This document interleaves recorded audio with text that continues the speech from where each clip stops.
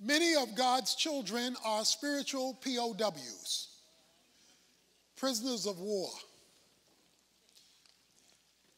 trapped in a sin that they have been unable to break. Trapped in a situation that is contrary to the will and word of God from which they have not been able to escape. Whether it is alcoholism or drugs or pornography or gluttony or profanity, whether it is lashing out in anger and wrath and inability to control one's temper, they find themselves caught and unable to get out.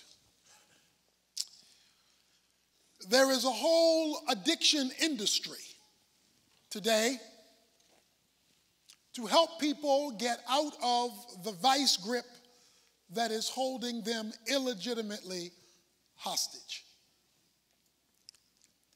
And what many are discovering is that going to church hadn't solved their problem.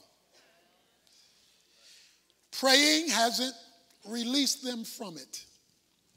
I want to talk about the consequence of addiction that shreds minds, ruins souls, kills relationships because you find yourself caught. And even if that's not you, there is somebody in your circle of influence who finds themselves addicted. The biblical word for what the world calls addiction is stronghold. Because the biblical word stronghold is referring to the spiritual nature of the addiction. A stronghold is a spiritually based addiction, which means if you try to feel, fix an addiction, which is really a stronghold, without the right spiritual connection, you can't be released from it because you haven't dealt with the core issue that's behind it. So you just deal with the thing itself. In your kitchen, whether you have a refrigerator or a stove or an electric can opener or a toaster or whatever appliance you have, all of them are different, but they all find their power from the same source electricity. Regardless of your addictions, it would take us forever to talk about this addiction and that addiction and this addiction and that addiction and this other addiction because they are, they come in by the dozens. But I would like to submit to you that they all emanate from a common source. So if we can get to the common source, we can apply that source to the uniqueness of the particular spiritual addiction slash stronghold that needs to be addressed. We're living in a time when people find themselves stuck. Now, my concern is not for the person who's stuck and wants to be, because I can't help you. If you're in an addiction and you want to stay addicted, all the facts and figures and truth and Bible can't change something you are pursuing. But I am speaking to those who are or who know someone who is caught in a sin, know they're caught, doesn't want to be caught, but doesn't know how to get out. They are trapped in some scenario for which they cannot find release. And so, this issue of illegitimate bondage must have a spiritual understanding underpinning it for full release to occur. So let's review again what we're referring to as we move forward. We're referring to a spiritually based trap in some category of life that has been inculcated with negative patterns of thought that, like a snake, has wrapped itself around the mind, making something seem impossible to break or to fix because you feel handcuffed to it or it feels handcuffed to you. It is seeing something as unchangeable that is outside of the will and the word of God. Most people have run into something in their lives. Sometimes they're big, sometimes they are small, that is of less consequence, but yet addictions have a way of growing. They have built into them gateway potential, the capacity to expand themselves in our lives and in our circumstances. When you are in an addiction, or better yet, a spiritual addiction or stronghold, you feel like you're in a tomb, a prison, and somebody has thrown away the key. What many people seek to do with this stronghold that they're battling is to accept it as an inevitable reality. And the best they hope to do with it is to decorate their cell. Since it's never going to change, at least let me make my addiction as pleasant as possible. Other people settle for what we might call sin management. Since I'm never going to get rid of it, let me do like a trash masher. Let me just press it down and pretend it's not there, which only creates room for more trash. And so they just try to manage it the best way they can. But today, I want to try to give a biblical mechanism for deliverance, predicated on an understanding that Christians can find themselves in strongholds like non Christians. You don't have to be saved for long to know that when you got saved, your flesh didn't disappear. Some of our flesh was so well trained when we weren't saved that when we got saved, the flesh looked at that as a new opportunity to show how strong it really is.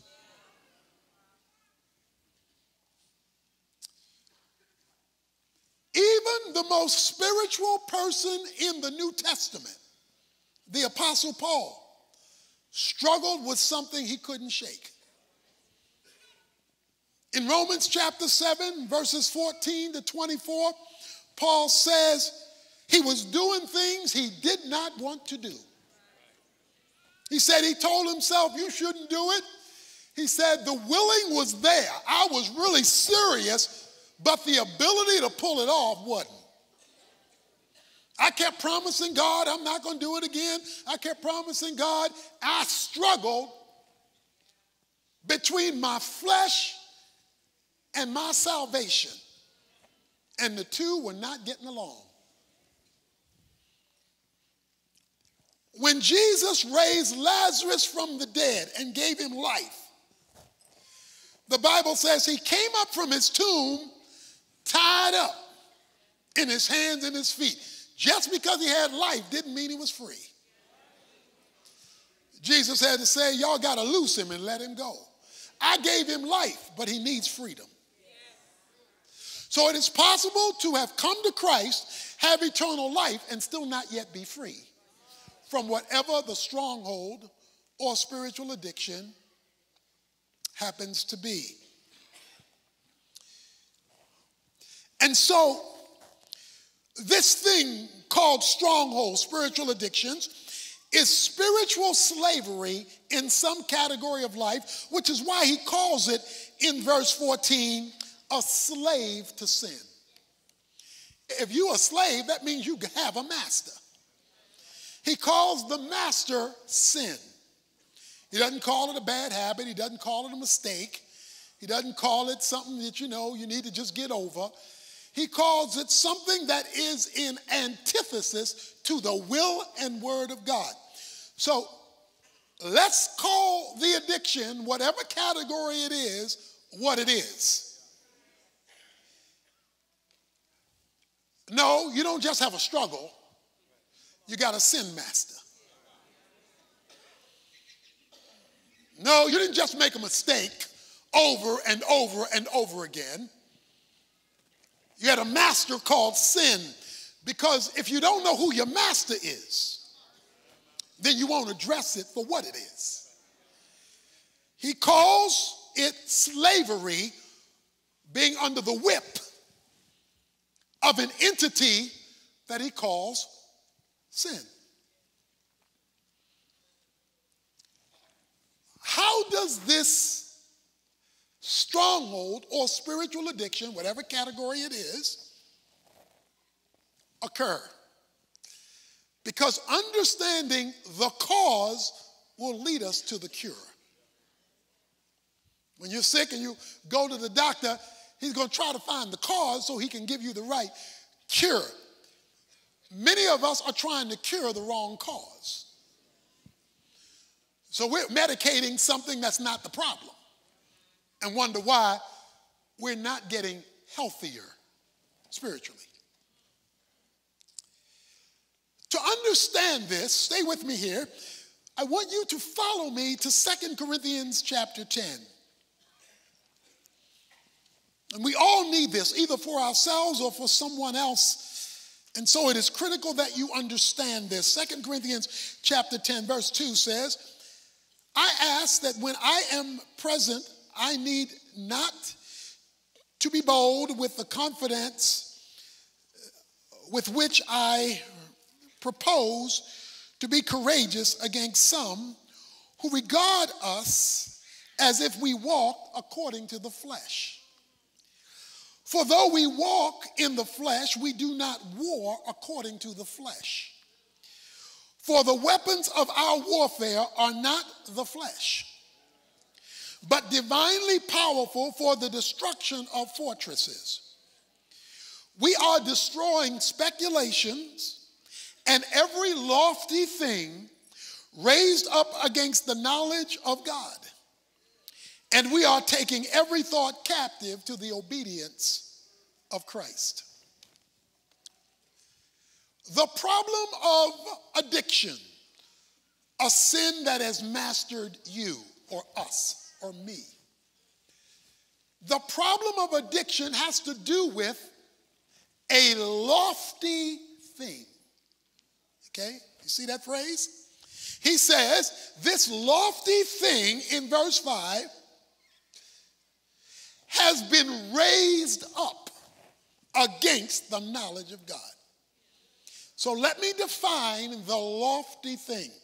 The Greek word lofty, a synonym for it is partition. You go to a room, we have classrooms that have a partition down the middle. You can open it or you can close it. If we want to have two classrooms in the same space, we close the partition. This partition is lofty, it goes from the floor to the ceiling, and we close it to divide the room so that we can have two separate classes as opposed to having one bigger class. So we divide it through a lofty thing. Now, the reason we divide the room is so the information in this half of the room doesn't cross over to the meeting in that half of the room. We want the content to be separated so that one room is not interfering with another room. What Paul is saying is The reason why we stay defeated is because of our partition in the mind. There is a blockage in the mind. He says speculations and thoughts raised up, petitioned out against the knowledge of God. So, what the enemy does is he sets up a partition in the mind so that the truth of God can't get through. And because he partials off your thinking, your speculation, and your thought, no matter how many sermons you hear, it can't cross over to the other room. Because the other room is filled with contradictory information that the enemy doesn't want the knowledge of God to cross over into. He calls this other information in the other half of the room, your portion of uh, mind, he calls that information knowledge and speculation against the knowledge of God. So the lofty thing is contradicting what God says, what God thinks, so that it doesn't go all the way through. So what happens is that the enemy is able to keep the truth of God from fully infiltrating your thought patterns so that you have victory one moment and defeat another moment. This blocking through a lofty thing keeps what he calls in verse 4 the fortress, prison, or tomb operating. So the moment you think you're getting out, you find out you're still in. Because it didn't cross over. It, it did the partition made sure it didn't cross over. Now, the biblical word for this lofty thing is double-mindedness. Double-mindedness. Double to mind thought thinking in two different directions at the same time. Partition. It is the job of Satan to keep you thinking in two ways at the same time.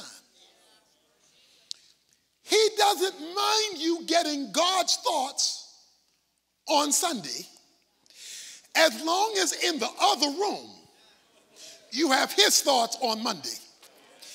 Because if he can get you to have God's thoughts on Sunday, but get his thoughts on Monday, he can keep God's thoughts from penetrating the whole of you. Therefore, God's thoughts don't last long because they're in competition. It's like uh, if you if you go to Sweet Georgia Brown's because you want some soul food. You go to Sweet Georgia Brown.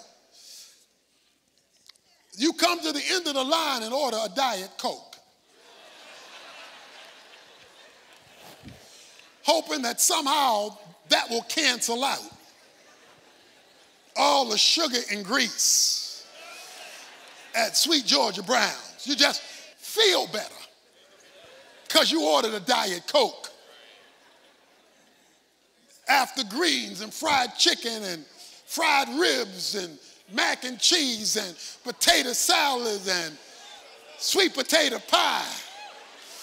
But give me a Diet Coke. What a lot of folk think is having diet church on Sunday after having incorporated the other world view all week long, somehow that diet worship will override and give you victory. He says, No, you're operating with a partition. And that partition cancels out the knowledge of God, making it incapable of your mind being able to take every thought captive to the obedience to Christ. So the prison, the fortress, doesn't get dismantled. And after a while, we get too tired of trying to dismantle it. We get too tired of trying to get, I'm too tired of fighting this thing. So the best I can do is put pictures on the wall of myself. I'm in this, I'm to die like this. It's to always be like this. So I'm just to do the best I can. Or manage it the best I can. So, in order for the penetration of God's truth to bring victory in the area of the stronghold due to the vice grip of sin that has been amplified by Satan and demons. In order for that to be overcome, that wall must be taken down in order that the fortress, the prison, might be destroyed, not remodeled. And the tricky part of this, the tricky part,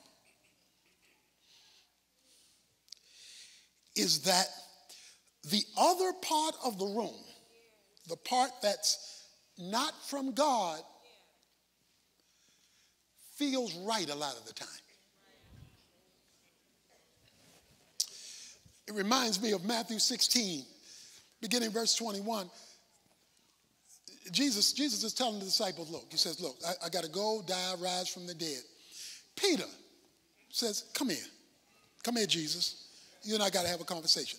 Peter takes Jesus to the side and says, God forbid it, Lord. What you just said, Jesus, you all wrong. You off. And you're off, watch this, in the name of God. He says, I'm going to use God on you, Jesus. You really got to be good to use God on Jesus. He said, I'm going to use God on you. God forbid what you just said. What you just said is not going to happen. And just to keep it spiritual, Lord. What you just said is not going to happen, Lord. Jesus said, Get thee behind me, Satan. Wait a minute. How can you just call Peter Satan when he used God's name? So just because you use God's name, says God bless you, say hallelujah, praise the Lord, does not make it legit does not make it legit. He says, Get thee behind me, devil. Now, what was devilish about his statement? He meant well. He was trying to keep Jesus from the cross, he was trying to keep Jesus from being killed. He meant well. He even used God's name in it. He called Jesus Lord. He meant well. But Jesus says, No, your mind is on man's view, not on God's view, because you didn't like the view. See, the reason why Satan can keep us trapped is when we don't like what God wants and come to some logical conclusion about it that we can toss a little Jesus name on top of it, we think then then it must be okay when it's the devil controlling the other side of the room of our minds. And when we understand this, and grasp this, it becomes a transforming truth that, wait a minute, I have a divided mind, and that's why it doesn't stick. It stays there for a day or a week, but it doesn't stick. And even when it comes back, I don't have victory over it, it has victory over me. So, if that's the problem, how do we do this? How do we, how do, we do this? How do we begin now to remove the petition so there is no longer a division in the mind so that now God's knowledge flows through and the fortress is destroyed and all the speculation that's holding me hostage. Back to our original passage, John 8. He says in John chapter 8, verse 31 and 32, if you continue in my word, then you will know, then you are truly my disciples, and you will know the truth, and the truth will make you free. You only are going to be freed by the truth. Okay? Now, nobody will disagree with that, so let me say it another way. You will only be freed by the truth, not what you believe to be true. We got folk running around here talking about, I know my truth. Yeah, and where has your truth gotten you? No, no, no. It's not what you believe to be true. He's not talking about a truth, some truth, your truth. He's talking about the truth. The truth refers to an absolute standard by which reality is measured. It is an absolute standard by which reality is measured, and the truth always sits outside of you. Look, one and one is two, one and one has always been two, and one and one will always be two because it is a mathematical truth. Now, you can feel three ish all you want. You can be in the one and one being three all day long. But because it is a fact that sits outside of you, you have to adjust yourself to one and one being two, no matter how many people tell you it's three, no matter how deeply you feel it's three, no matter how much you want it to be three, you must conform to the truth, not turn it into your truth. And one of the reasons people stay in strongholds is because they're living on a truth or their truth or some TV program's truth or some cultural truth and not the truth. The absolute standard by which reality is revealed. Here is one of the biggest falsehoods that keep us in custody and locked up spiritually in a stronghold of spiritual addiction. And that is trying to get the flesh to fix the flesh. Paul said in the scripture we just read in 2 Corinthians 10, we do not war according to the flesh. The flesh can't fix the flesh. You can try to manage it, you can try to force it down, you can try to make a New Year's resolution, you can promise you're never going to do it again. You can talk to yourself. You can go to the counselor. You can take medication. But if it's a spiritual sin issue, what we do is go to the thing that's the problem to fix the problem. He says, no. What you must do first and foremost is continue in my truth. Look, look, uh, you remember, you remember uh, your grandmother, great grandmother, when she was washing clothes, used the washing board. You know, she pushed the washing board and she's putting out a lot of energy to, to, to, clean them clothes. I mean, arms get tired, have to take a break for a while, come back and do it again, and then you got a lot of clothes. You know, it takes days to do it. Uh, a lot of a lot of hard work to clean those clothes with the washing board. But lo and behold, technology, a washing machine. A washing machine. What would you say if you purchased a washing machine for your grandmother and she was using a washing board. You would say, Mama, uh, Grandma, you don't get it. You don't need that when you have this. All you're doing is the best you can, breaking your neck, getting tired, when there has been another provision that's much better than you at getting stuff clean. What many people want to do is get out of their addiction by their own scrubbing effort. And for a while, it looks like it's clean, but when they look it up, it ain't that clean. And, and they try again, they try again. When God says, no, no, no, what you must do, watch this. Verse 31, he says, I want you to continue in my truth, and you will know the truth. The word continue means to hang out, abide, stay there, to loiter. That's what to continue or abide is. You must abide in the truth. Stay, there, stay with me here. We don't abide in the truth, we visit it. We've come, we're listening to the Word of God. Most of us won't know next Sunday what we heard this Sunday. Okay? Because we don't abide in it, we visit it. No, he says, no, no, no. No, no, no. To have victory over the master of sin, you must abide in the truth. So if you are battling something in your life and you're a Christian, if you're not a Christian, that's a whole other ballgame because you don't have the Spirit to help you. But if you are a Christian, you have the Spirit, but the Spirit is the Spirit of truth, so you've got to abide in the truth. So here's what I want you to do this week. Every day, I want you to read Romans 6, 7, and 8. Th- th- those three chapters Romans 6, 7, and 8. Why?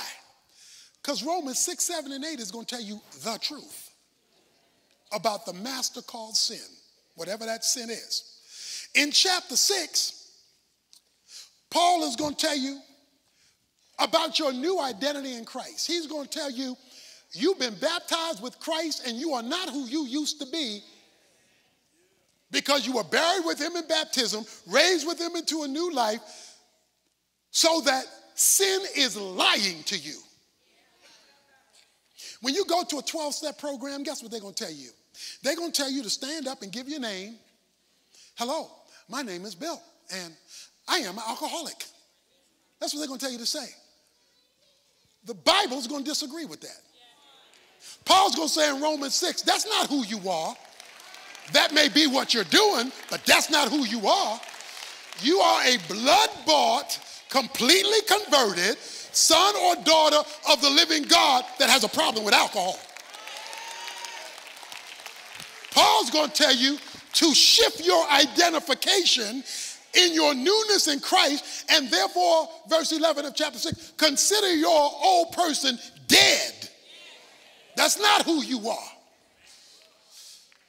My name is Bob, and I am gay. No, that's how you feel. He's going to tell you, you must now identify yourself as Jesus Christ identifies you because the more you tell yourself you're that, you're telling the flesh to be at home with the sin. Then he's going to come to chapter 7 and he's going, Paul's going to tell you, I struggled like you struggled. I had some things in my life. He doesn't tell us what it is, which is good because then you can put your stuff in that chapter. He says, and I struggled, and the things I didn't want to do, the things I did, and I didn't want it, and it kept coming back, and, and I resisted it, but it showed up again until I got to chapter 8 and understood the power of the Holy Spirit. And that the law of the Spirit is greater than the law of sin and death. So that in verse 13, he says, Therefore, I have no longer any obligation to the flesh. When I understood that I got this supernatural peace when it's tied to the truth. And you will know the truth. Now I know what some of you are saying. You're saying, well, I may know it, but, but a lot of that Bible stuff, I'm reading it, but I don't understand it. I don't understand it. Okay. Do you take medicine you don't understand? You go to the doctor, you say, I'm hurting. He writes a prescription. You don't know what he wrote. In fact, if you can read what he wrote, he ain't a real doctor. He got scribble stuff going. You don't know what that says. You go to the pharmacist, you get the medicine. You, you, you don't know all the stuff that's in that medicine. But what you do is you ingest it, you take it, you swallow it, and it does its work even when you don't understand it. Now, sure, we are to seek to understand the Word of God, but while you are taking the time to seek it, if you just keep taking it in and continue it, it has the ability to do its work if you continue in it. So if you are struggling with something, if you are a believer, every day for this week, read chapter 6, 7, and 8 of the book of Romans over and over again and let the medicine seep down and abide in you because when you continue in my word, you will then know the truth, and the truth will set you free.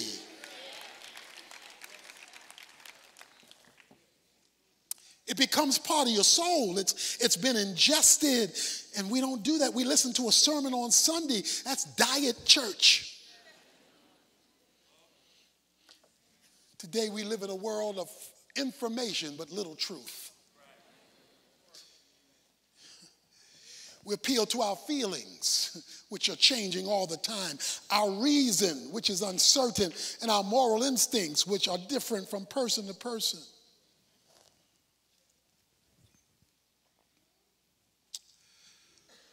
Ah, but there's something else. There's something else that if you miss it, you miss the real deal of victory.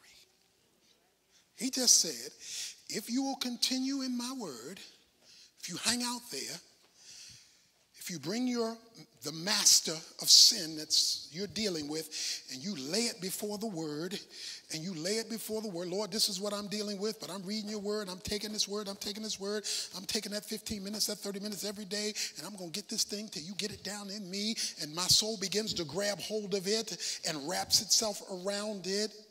He says the truth will make you free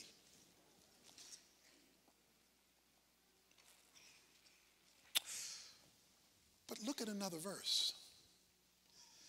Because when you look at verse 36, so if the Son makes you free, you will be free indeed.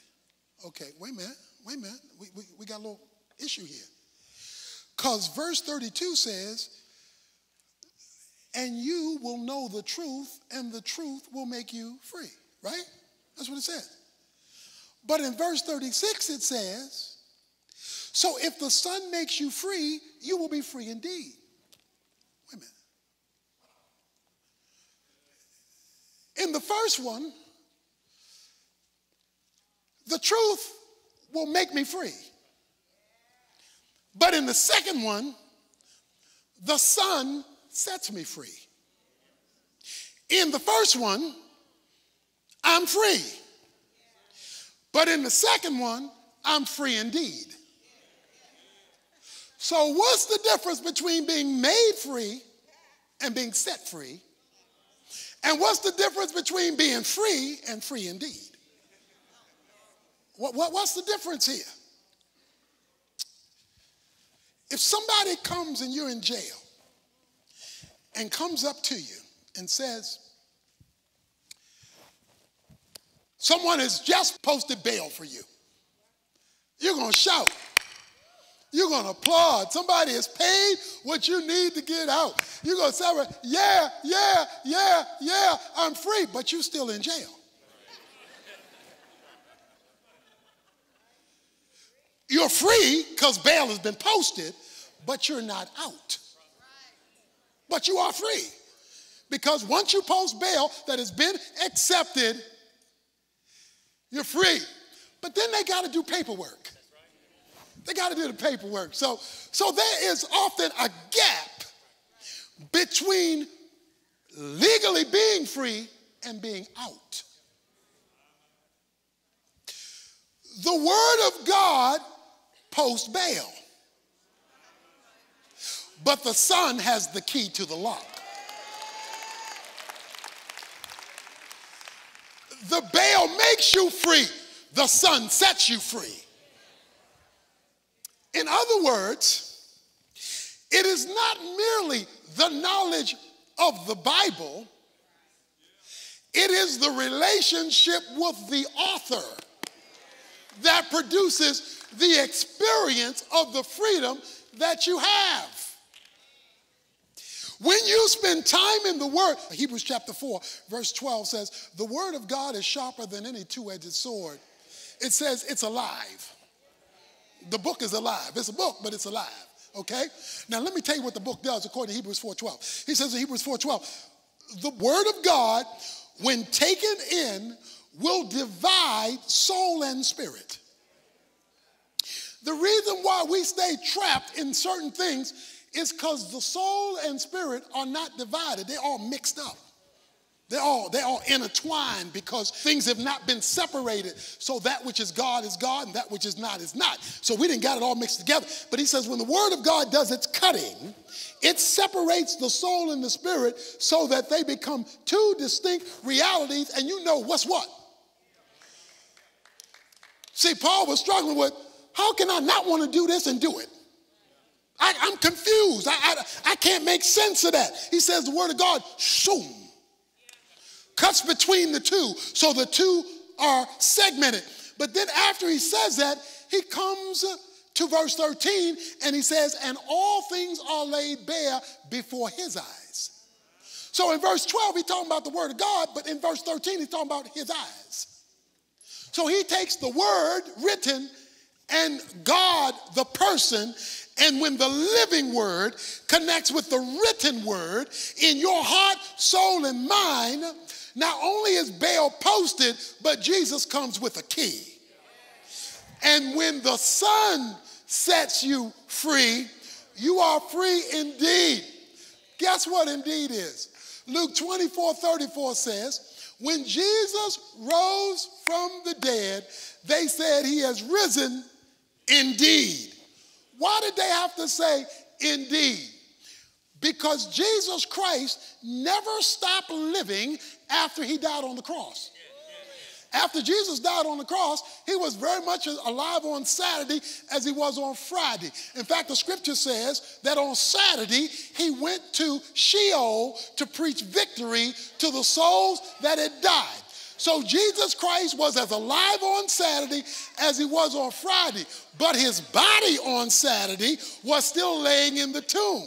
He was spiritually alive, but he was not physically alive yet.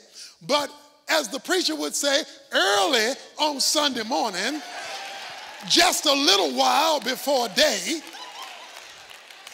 Jesus got up so that what was already true became visible.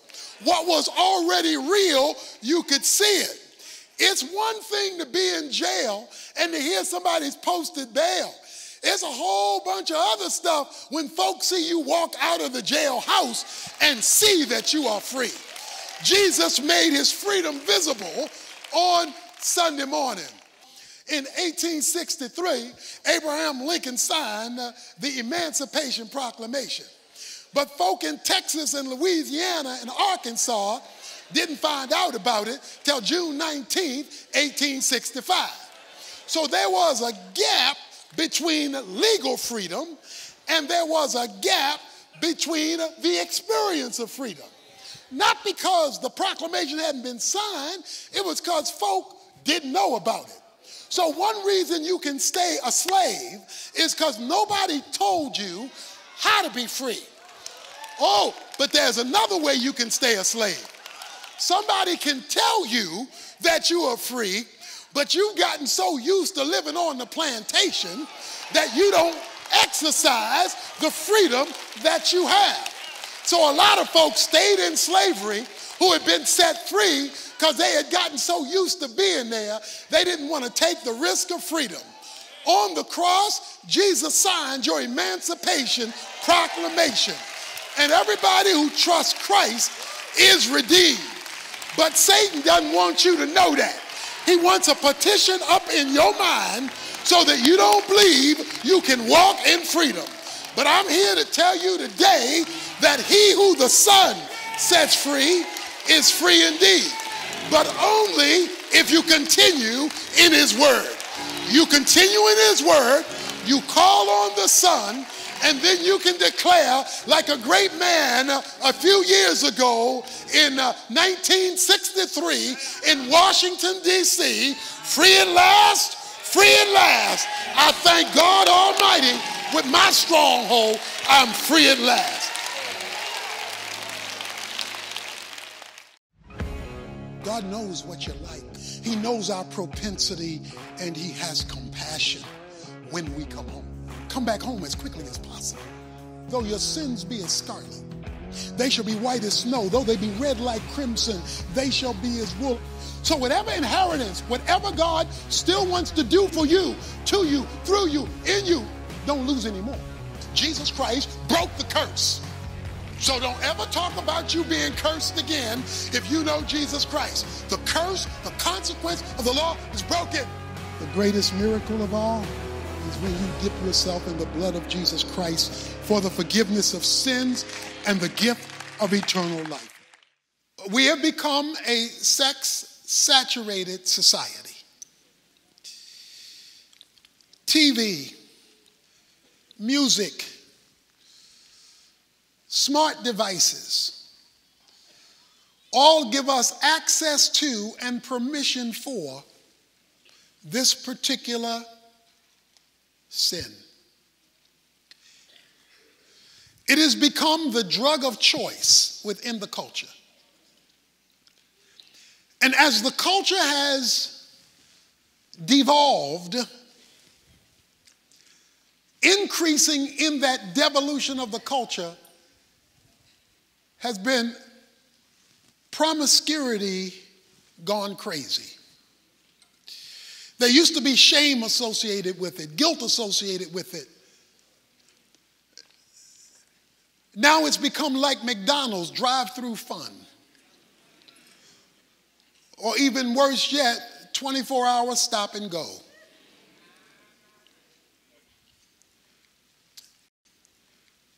And it is wreaking havoc in our world.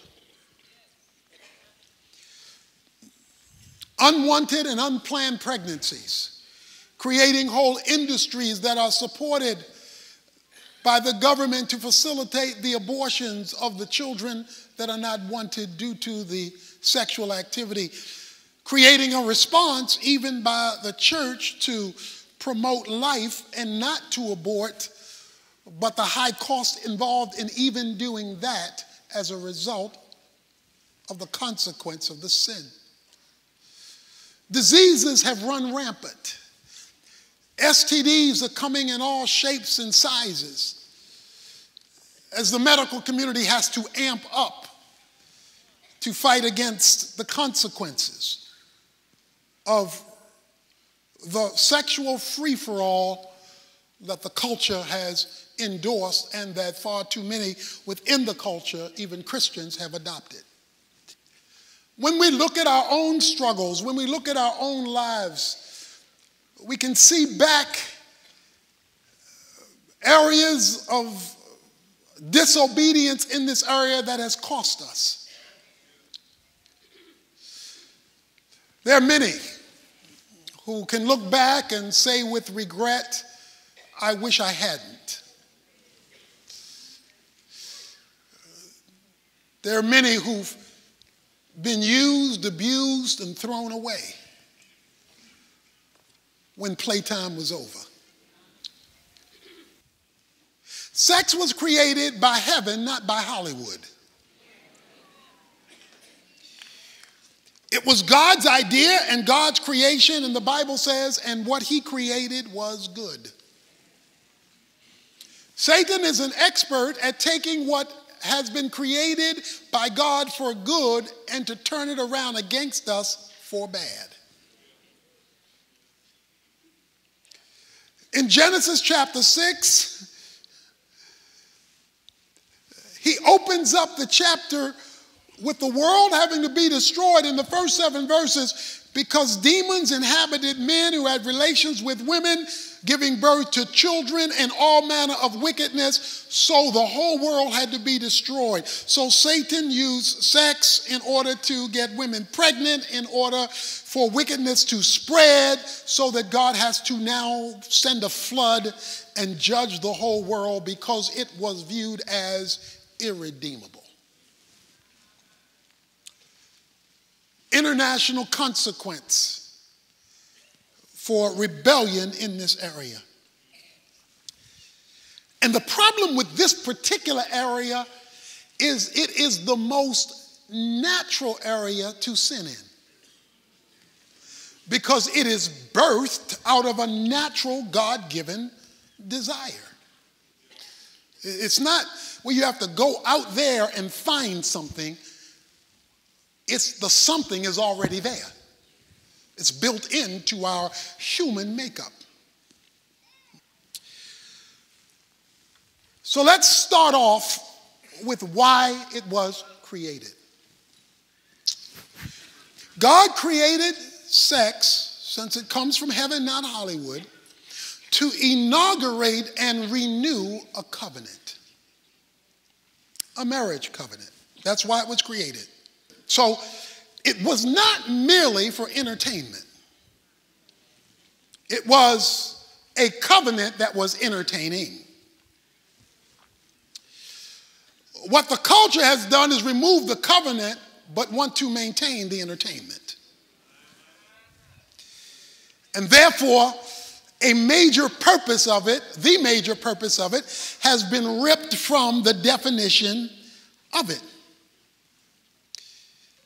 Now, Paul gives an extended discussion of this in 1 Corinthians chapter 6, and I do want you to turn there because he gives a theological understanding of this area that we need to take into account as we move forward here today. We're being somewhat didactic or teaching today because I want you to understand it. I want us to understand it so that we can, no matter where you're starting from, begin to acclimate ourselves in order to recover what God's will will allow and the consequences of our rebellion here. He says in verse 9 of uh, chapter 6 of 1 Corinthians, or do you not know that the unrighteous will not inherit the kingdom of God? Do not be deceived, neither fornicators or adulterers or the effeminate or homosexuals or thieves or covetousness or drunkards or revilers or swindlers will inherit the kingdom of God. He says, this lifestyle blocks you from inheriting the kingdom of God. Now, don't misunderstand that. He doesn't say it stops you from entering the kingdom of God. You enter the kingdom of God based on faith in the finished work of Jesus Christ, but you inherit the kingdom of God. That is, you accrue the benefits of the kingdom of God having to do with lifestyle. So while you may be on your way to heaven, heaven may not be on its way to you. Because when you adopt this lifestyle, he says that inheriting, that is receiving the benefits of the kingdom, do not accrue to you. He says in verse 14, such were some of you. That's, that's, how, that's how you rolled in your unsaved days. But you were washed and sanctified and justified in the name of the Lord Jesus Christ. That's not who you are now. Now, it may be how you feel, but that's not who you are. That we've been duped into thinking it's only natural. The desire is natural, the activity is not. He takes it deeper theologically. He says, All things, verse 12, are lawful for me, but not all things are profitable. All things are lawful for me, but I am not mastered by anything. So, whenever anything in your Christian life, my Christian life, our Christian life, holds us hostage, it is spiritually illegal. He says, I will be mastered or controlled by nothing, including my passions. I have them, but I'm not going to let them rule me. He takes it deeper. Food is for the stomach, and the stomach is for food, but God will do away with both of them. Yet the body is not for immorality, but for the Lord, and the Lord is for the body. Because Corinthians had this problem. They had this problem. They had this sexual immorality problem. People had come out of that lifestyle, and now they were in church. But that's what they knew. That's how they functioned. That's how they rolled. And they had a, they had a philosophy. Their philosophy is food is for the stomach, and the stomach is for food. Translation, you have an appetite. When you have an appetite and you're hungry, you go eat. because you got a stomach, your stomach is growling for food, so you go get the thing that's out there designed to satisfy what your stomach is crying out for in order for your stomach not to cry out for it anymore because food was made to satisfy the cry of the stomach. Because the body is crying out to re- be relieved and to be satisfied. So, just like the stomach cries out for food and you satisfy the stomach for food, when the body calls for sex, then you go start knocking boots. That's just what you do. They were saying that that is the natural expression of the desire. God intervenes into this discussion and he says that is not correct. He says, while food is for the stomach and the stomach is for food, he says, yet your body, verse 13, is not for immorality, but for the Lord and the Lord is for the body. So your body is not for anything you want to do with it, just because it's your body. And he explains why. Now, God has not only raised the Lord, but will also raise us up through his power. In other words, if God got Jesus up from the grave, he can get you up from the illegitimate bed because he's in the resurrections. So, since he's in the resurrections, just as he got Jesus up out of the grave, he can get you out of that yielding to that legitimate passion that's being addressed in an illegitimate way. He then goes deeper. Do you not know that your bodies are members of Christ? Shall I then take away the members of Christ and make them members of a prostitute? May it never be. Or do you not know that the one who joins himself to a prostitute is one body with her? For he says, and the two shall be one. But the one who joins himself to the Lord is one spirit with him. He says, when you have sex, you enter into a union. You enter into a union. And you are now, as a Christian, unified with Christ. So wherever you go, you take him with you.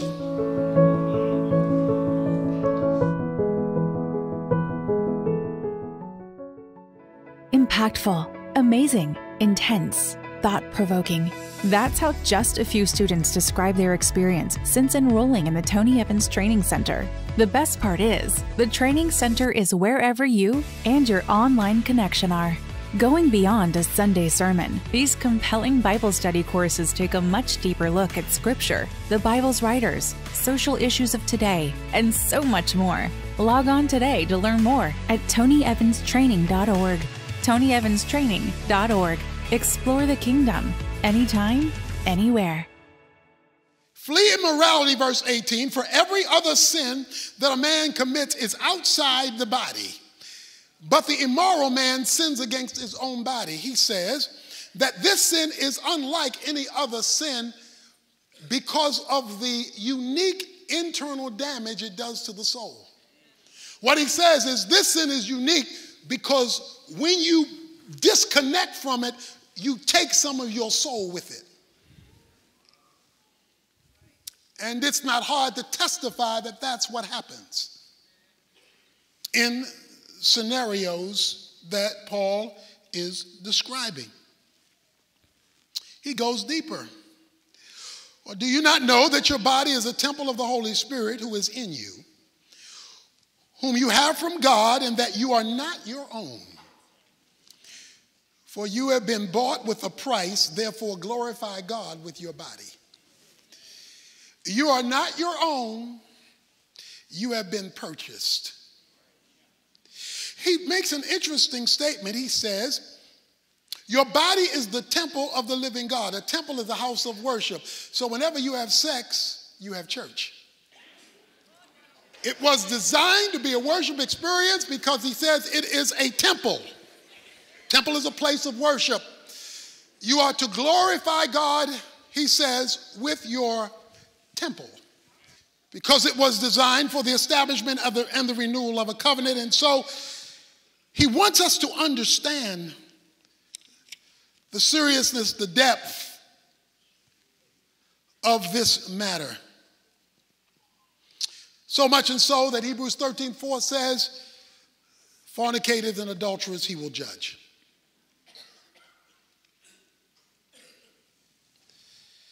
Therefore, sex for the believer is not merely a physical thing, nor is it merely an emotional thing. It becomes a spiritual thing. Now we have a problem.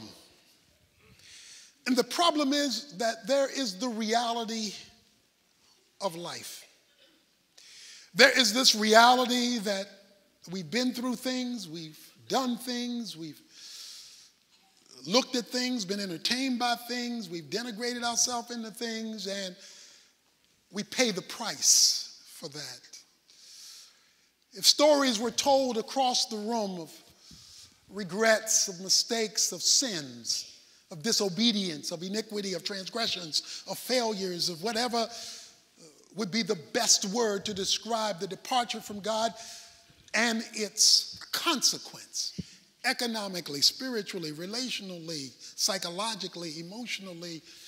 The testimonies would be replete because of all the different background and experiences that are represented in the room. And so the question becomes well, what do we do now? How do we recover?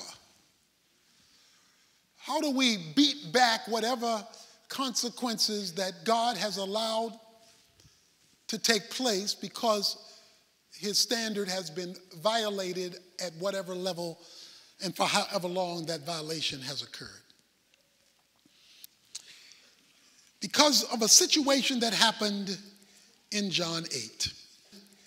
The scribes bring a woman to Jesus while he's teaching in the temple, and they say to him, Teacher, because you're teaching Jesus, we caught this woman in adultery in the very act.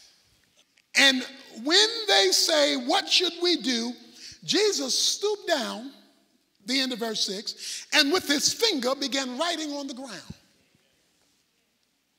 But they kept pressing him. What are we going to do with her? Verse 7. Jesus says, He that is without sin cast the first stone. But he stoops down again and he writes again. They said, The law of Moses said we should stone her. So they are thinking about the law and talking about the law and the divine standard is on their minds for the test they're doing. Jesus kneels, kneels down and writes once. He that is without the sin casts the first stone. He kneels down and writes a second time. So if you're telling me you've never been immoral, if you're telling me you've never done this or that or the other, throw the first stone. You, you, you lead the way. So I can be true to the law of Moses, but I just want you to know, just so you know, after you've thrown your stone and we call your number, just make sure you understand some rocks are coming your way. And so Jesus, as only Jesus could do, threw the same law in their face that they were throwing at him. It says that they began to walk away. So now it's just Jesus and the woman. It's just Jesus and the so they're standing there, and Jesus straightening up, says to her in verse 10, Woman, where are they? Did no one condemn you? Where the people at? I don't see them. Where, where, uh, nobody here throwing no stones. And she says, No one, Lord. Now, the scribes had called Jesus teacher, she calls him Lord. She affirms the uniqueness of Jesus Christ. No one, Lord. My accusers are not here. And then Jesus hits her with the mother lode. A short statement, but pregnant with theological truth. I do not condemn you either. Go from now on, sin no more. And I want me taking away your condemnation to be the motivation for you to go and sin no more. The law says, I'm going to hurt you because of what you've done. God does not change the law, the standard, it's still sin. But what grace does is shift the motivation. In other words, I want you to respond to me out of the fact that what could have happened didn't happen. Even when the Lord disciplines us, the Bible says, He disciplines us for whom the Lord loves, He disciplines. So even consequences of discipline come out of a heart of love. He wants the motivation for the transformation to be the goodness He extends to you, even though you deserve stones. But what do you do if you already messed up, you already blown it, you're already suffering the consequences, you're hurting from it, you're disappointed at it, but you're saying, like she said, Jesus, Lord, Lord, Lord, I, am I recognize you and I want that grace and whatever the grace and the mercy will allow in terms of me moving forward since I can't change yesterday. Wish I could. If I could, I would, but I can't. But I'm here today and I want to go different tomorrow. Well, most of us do this. We send our clothes to the cleaners when they get dirty, right? We send our clothes to the cleaners because they're stained. So you take your clothes to the cleaners and they begin their process of cleaning it up. You go back and you pick up your clothes the next week. You know why you send your clothes to the cleaners? Because you want to wear them. See, you want to wear them again, so you want them clean and pressed, and, and, and, and you want to, because you want to look good in your clothes, so you take them to the clean. So, what I'm trying to tell you is Jesus has a cleaning business. He's got a cleaning business, and he knows you can't get it clean like he can get it clean. So, he says, If you will bring your dirt to me, come unto me, all ye that labor and are heavy laden, and I will give you rest. If you bring your dirt to me, and you recognize who I am and what I have to offer. In fact, not only do you bring your clothes to me, but I got a pickup service. I will meet you because I want to get rid of this dirt. And the reason why I want you to bring your dirt to me is because I want to wear you. And I want to look good in you. And I want, when you say I'm a believer in Jesus Christ, I want you to be well dressed. I want you to be well pressed. I want you to look good so that you can show me off. And if any folk from your past come up wanting to stone you because they remember what you used to be and what you used to do and how you used to act, you can show them the new jacket. You can show them the new pants. You can show them the new shirt. You can show them the new tie. You say, yeah, I used to be dirty, but I've been to the cleaners. And Jesus Christ has washed me white as snow.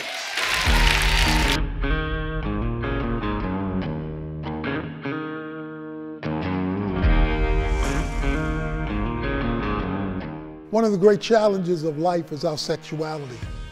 We've been given it in our humanity, and God has given us parameters for the exercising of it. When that fire leaves the fireplace, stuff starts to burn down, doesn't it? Our own lives, our own guilt, our own relationships, because it's a fire run wild. It has left the compartment that God has created for it, which is, of course, marriage. But I've got good news for you today. God forgives. Throughout the Bible, you see many sexual failures. But you also see the forgiveness and grace of God healing those who have disobeyed Him in this area. The Bible makes this a unique sin because it's a covenantal sin. and it affects you and your well being as well as others who are affected by immorality. One of the great things that God does in the Bible is that He sanctifies sex. He doesn't make it a bad thing, He doesn't make it a negative thing. He calls it a beautiful thing. In fact, there's a whole book that celebrates sex, Song of Solomon.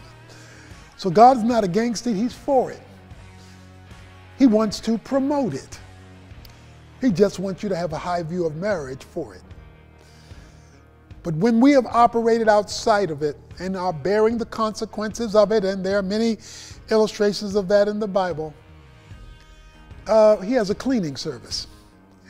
He can clean us up, he can wash us, he can iron us so that we become spiritually pure again and can go on with our